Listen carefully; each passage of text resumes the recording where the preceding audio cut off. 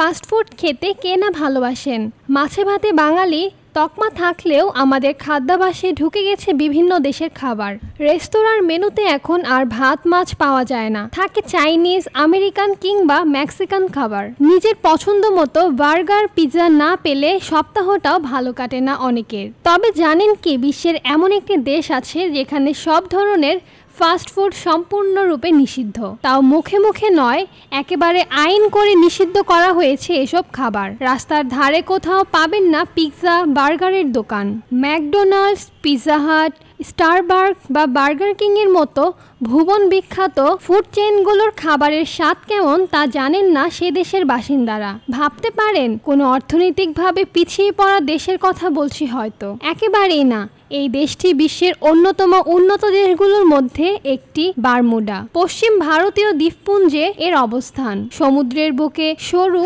এক ফালি এই দেশেই ফাস্টফুড বন্ধ করেছে সরকার। প্রায় বছর পঞ্চাশ আগে এই নিয়ে আইন পাশ করে সেখানকার সরকার। ফলে পৃথিবী বিখ্যাত ফুড চাইনিজগুলো চেনে না এই দেশের বাসিন্দারা। একেবারে ঝকঝকে এই দেশে বছরে হাজার হাজার পর্যটক ঘুরতে যান। কিন্তু স্বাদ নিতে পারেন না বিশ্ববিখ্যাত ফাস্টফুড খাবারের। এখানে গেলে আপনাকে খেতে হবে সেখানকার ঐতিহ্যবাহী খাবারগুলোই। তবে একসময় এখানে ম্যাকডোনাল্ড সহ বিশ্বের বিখ্যাত ফুড চেইনগুলো ছিল। উনিশশো সত্তর সালে বারমুডা সরকার এসব ব্যবসা প্রতিষ্ঠানকে দেশে নিষিদ্ধ করে। ব্যবসা গুটিয়ে নিতে বাধ্য হয় ফুড চেনগুলো এর পেছনে বারমুডার সরকার একাধিক যুক্তি দিয়েছে। এর প্রথম কারণ হচ্ছে, বিদেশি ফুড চেনগুলো ব্যবসা শুরু করলে স্থানীয় বিক্রেতাদের অবস্থা খারাপ হওয়ার আশঙ্কা। এছাড়া একবার পিৎজা বার্গার বিক্রি শুরু হলে ধীরে ধীরে অবলুপ্ত হয়ে যাবে দেশীয় খাবার। স্থানীয় রেস্তোরাঁ, ব্যবসায়ী এবং স্থানীয় খাবারের সঙ্গে দেশের ঐতিহ্য বা সংস্কৃতি জড়িয়ে রয়েছে বলে বিশ্বাস করে সে দেশের সরকার।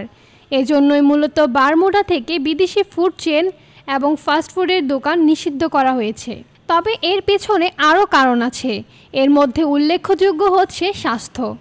নাগরিকদের স্বাস্থ্যের দিকটা ভেবেই এসব ফাস্টফুড খাবারে নিষেধাজ্ঞা দিয়েছেন সরকার।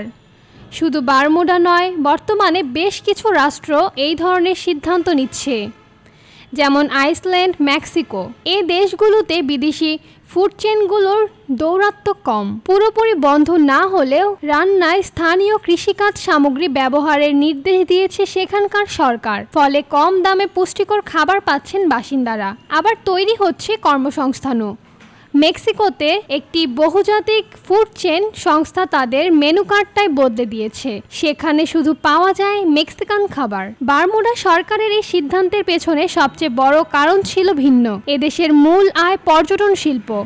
সরকার একসময় আশঙ্কা করে বিদেশি ফুড চেনগুলো ঢুকতে দিলে দেশে দূষণের পরিমাণ বাড়বে। তখন জঞ্জালের স্তূপে ভরে উঠবে সৈকত। কারণ এই সংস্থাগুলো খাবার প্যাকেজিংয়ের ক্ষেত্রে প্লাস্টিক ব্যবহার করে, যা পরিবেশের জন্য হুমকি। বিশেষ করে সমুদ্রের পরিবেশ সুরক্ষায় প্লাস্টিক ব্যবহার বন্ধের কোনো বিকল্প নেই।